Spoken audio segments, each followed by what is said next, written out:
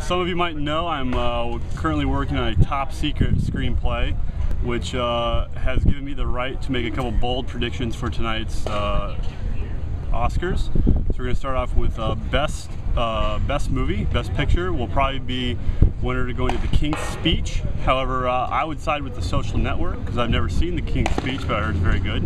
along those lines, best actor will probably also be Colin Firth and Best Actress will probably be Natalie Portman in Black Swan.